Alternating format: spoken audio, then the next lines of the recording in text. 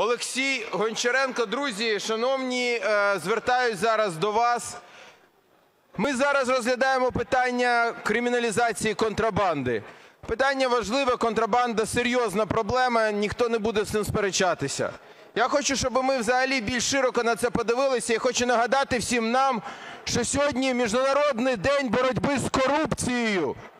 Ще раз, Міжнародний день боротьби з корупцією. Колеги, вітаю всіх! Це ж свято має бути сьогодні тут для нас. А я хочу спитати, як так відбувається? І може колеги візьмуть слово і щось скажуть. Знаєте, це знамените прислів'я вже. Е, Вечором там в е, буфеті, зранку в газеті. В нас сьогодні так народні депутати. Ще вчора в СІЗО, сьогодні вже тут в сесійній залі.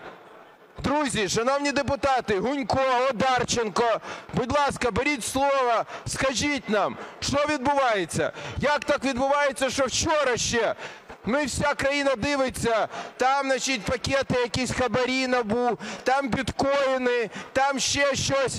А зранку приходиш в Верховну Раду, а вони тут як тут. Вони всі на місці. І Гунько, і Одарченко, все в них нормально. Вони з нами ходять по Верховній Раді і разом з нами святкують Міжнародний день боротьби з корупцією. Друзі, ну ми можемо з вами криміналізовувати що завгодно, декриміналізовувати, ще раз криміналізовувати. А толку з цього, якщо наша боротьба з корупцією виглядає як якась спортивна рибалка. Піймав, відпустив, піймав, відпустив. Друзі, це неправильно. І я звертаюсь до всіх, до нас. Ми вчора прийняли закон посилити НАБУ, посилити САП. Так ми хочемо бачити результат. Це все і колосальні кошти, які вкладають сьогодні під час війни українські платники податків. Віддають останнє, щоб зупинити корупцію. Бо да, корупція забирає набагато більше. Але коли це відбувається так, що депутати, які були, знаєте, якось е, кордони СІЗО і Верховної Ради вже змішалися. Вже не зрозуміло, де СІЗО, де Верховна Рада. Ну це якась дивна історія.